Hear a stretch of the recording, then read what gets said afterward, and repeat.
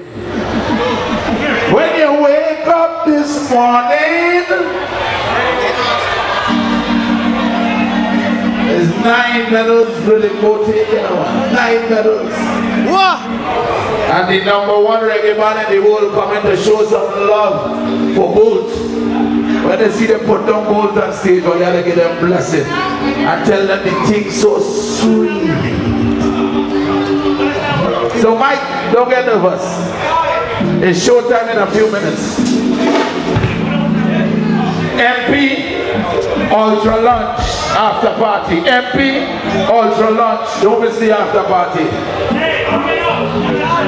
All those who was on the boat ride last night, the glow boat ride, I'm sorry I wasn't there. I was in New York City. So I have to make it up today.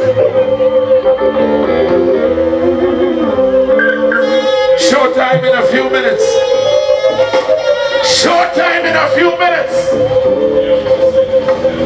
Then we have in one of the biggest soca band, one of the biggest soca band in the world, coming right after one of the biggest, the biggest reggae band in the world is on stage now. And right after that, one of the biggest